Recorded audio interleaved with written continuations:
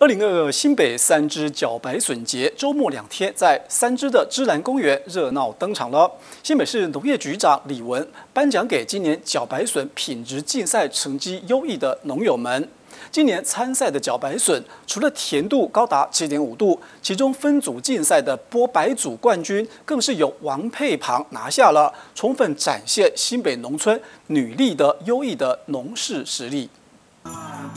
二零二二三支茭白笋节上周六日于三支区自然公园热闹登场，由新北市农业局长李文主持，并于活动场上颁奖给茭白笋品质竞赛成绩优异的农友。今年竞赛的亮点，除了茭白笋的甜度高达七点五度，其中分组竞赛的波白组冠军更由王佩庞拿下，充分展现新北农村女力的优异农事实力。我们三支区的茭白笋呢，最重要一点，除了大家常见之外呢。我的青壳种之外，还有赤壳种，它是有红红，它是表皮有一点红红的，它的枝枝干呢特别的大。那最重要一点，今年度呢，我们的水甜度呢，最高的甜度达到七点五度，这个啊是很有，这是一个破有史以来的记录，所以呢，大家一定要来品尝全台湾最好的三只的茭白笋，而且这个茭白笋已经进入米其林餐厅的，一定不能错过。那过去我们也曾经做差异化的分析。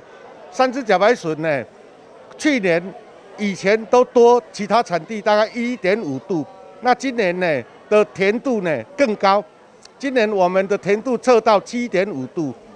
哦，七点五度，六度以上呢占九十个 percent，所以今年的茭白笋的品质特别特别的好，希望我们消费者呢啊看到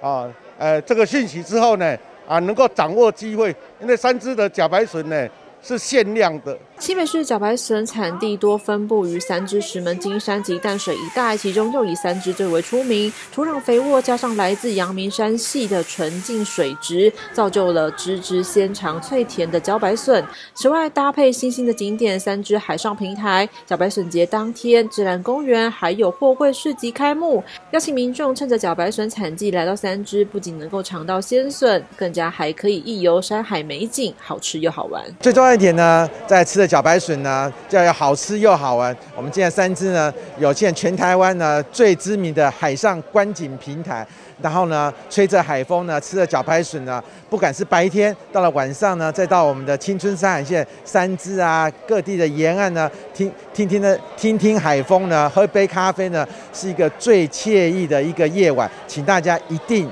要把握时间，赶快来三只。新成立的自然市集的哦，自然市集的摊位哦，有六个摊位。那也谢谢农业局能够呃补助指引我们，把自然公园做一个很很好的整理。所以今天我们特别是在自然公园来办这个搅拌的，也是第一次。那除了有漂亮的海上平台之外，那公园这里我们也在地的很多小农。以及我们的还有我们的特色产品都会在今天我们的摊集区里面来展售。那欢迎市民朋友能够踊跃来来这边莅临。连续两天的活动会场不仅设置骄傲市集，邀请在地的农友及摊商贩售新鲜现采的茭白笋与茭白笋料理，还有各式的文创手作小物等商品。同时常设的货柜市集搭配活动开幕，精选六家在地小吃、咖啡等特色店家进驻，要将三只美味带给大家。而三只。区公所也邀请喜爱茭白笋的民众，不妨趁着产季来一趟三只的美食之旅。